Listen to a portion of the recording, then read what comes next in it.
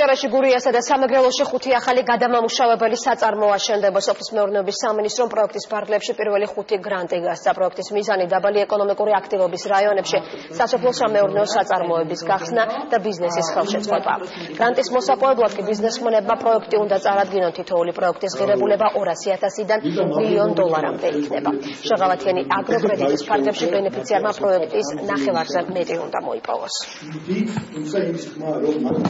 დაფინანსდა პირველი ხუთი ახალი საწარმო, საიდანაც ერთი გაიხსნება აჭარაში, ორი გურიაში და ორი სამეგრელოში. ამ პროექტის ფარგლებში ხუთივე საწარმოდან დასაქმდება დაახლოებით 130-მდე თანამშრომელი და შემდეგი პროექტების განხილვა მიმდინარეობს. ეს ბიზნეს შეუწყობს რამოდენიმე წლით და ასე თქვა წაწევს წინ კონკრეტულ მიმართულებას და ჩვენი გამოცდილება, ჩვენი კატეგორიის ჯგუფის გვაძლევს იმის საშუალებას, რომ ორ რეგიონს შევიტანეთ, გავიმარჯვეთ და ვფიქრობ, რომ ეს ადგილობრივ მოსახლეობას, ზოგადად გლეხს, რომელსაც არ იცოდა ხილი სად წაიღო, დღეს მიიღებს სარგებელს და ზოგადად ეკონომიკას წაადგება საქართველოს.